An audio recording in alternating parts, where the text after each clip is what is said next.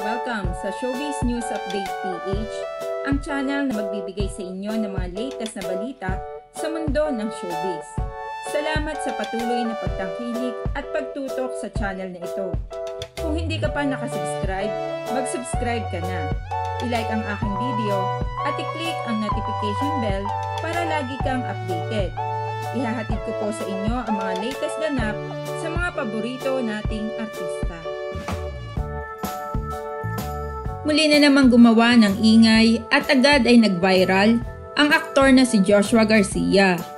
Ito ay matapos ang topless scene sa bagong trailer ng upcoming series ng Darna ng ABS-CBN. Kaya naman maraming mga Becky ang naglaway dahil matagal na nilang hinihintay na makitang mag-topless ang aktor. Hindi naman talaga nakikita si Joshua na mag-topless dahil ayon sa kanya ay hindi siya komportable na mag-topless.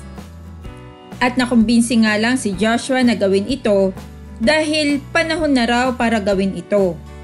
Ayon naman sa aktor, ay pinaghandaan naman daw niya ang eksenang iyon. Ayon pa sa binata, na-convince ako kasi nasa tamang edad na rin naman ako. And hindi naman sa sobrang laswa na ipapakita ko yon. Topless lang okay lang naman. Nahirapan lang akong mag-prepare. Medyo nagbuhat ako ng kaunti. Kaunti lang. Hindi talaga ako sanay na nagbubuhat. Labas din siya sa comfort zone ko, so why not gawin natin? Hanggang sa nangyari na. Kaya tanong ngayon ng netizens, ito na nga ba ang simula ng mas mature na Joshua ito ang ating abangan.